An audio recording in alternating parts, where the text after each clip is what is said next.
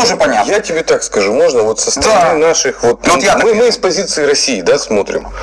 Нам нужно, чтобы в Белоруссии была предсказуемость, Вот.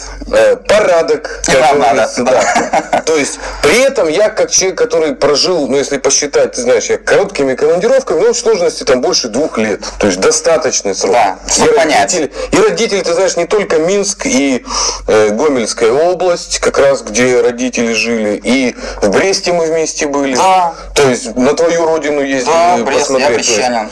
да. И мы видели, что на самом деле общество, само белорусское, масса своя, они растеряны. Да. Вот есть в Минске очень хорошо организованное меньшинство, но оно их, ну, я не хочу, стология же запрещена у вас, у вас же, ну, мы шутим по этому поводу. Ну, вот, у нас я могу вот позвонить коллеге из любой, в принципе, области, и со мной поделиться какими-то внутренними исследованиями. Они не закрытые. Есть закрытые, например, которые, ну, они есть. Вот. А есть, в общем-то, коммерческие, обычные, просто для понимания, какие-то маркетинговые исследования. Можно понять, о чем думают Да, люди в Хабаровске, да, да. в Вологде, а в Белоруссии не, Ну, все. как-то смотрят на это все со стороны, а чего? А что это вы кого, хотите да. про нас знать? Да, да. А хотя на самом деле то, что вот это радикальное меньшинство, по моим, э, давай так, профессиональному, вот то, что называется, наметанному глазу политтехнолога, это порядка 30 тысяч человек.